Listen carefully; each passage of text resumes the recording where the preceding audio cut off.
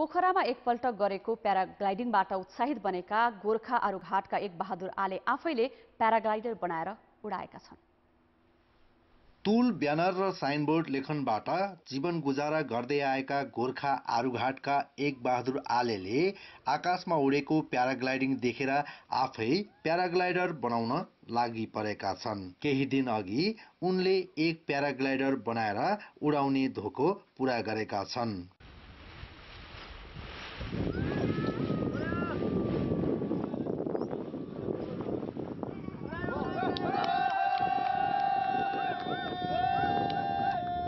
YouTube र गुगलमा खोजी गर्दै आलेले प्यारासुटका कपडा नाइलनका डोरी र अन्य सामग्री प्रयोग गरेर आठ किलो तौलको प्याराग्लाइडर बनाएर उडाएका हुन्। उनले प्याराग्लाइडिङ उडाउँदा चाहिने आपतकालीन ब्याग समेत बनाएका छन्। अनुसन्धान गरेर अनि सामान जुटाइकन गर्दाखेरि करिब साढे दुई वर्ष जति लाग्यो मलाई यो मेटेरियलहरू जुटाउन र सिलाइ गर्नलाई करिब साढे दुई वर्ष जति मैले सम्पन्न गरेर परीक्षण उडान पनि मैले गरिसकेँ। सामान्य परिवारमा जन्मिएका आलेले सधैँ नयाँ काम गर्ने गरेको उनलाई नजिकबाट चिन्नेहरूको अनुभव छ।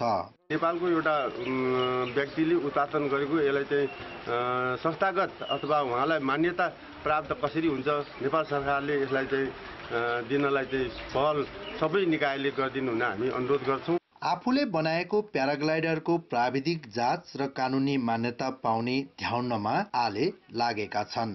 कान्तिपुर समाचारका लागि भीमलाल श्रेष्ठ आरुघाट गोर्खा।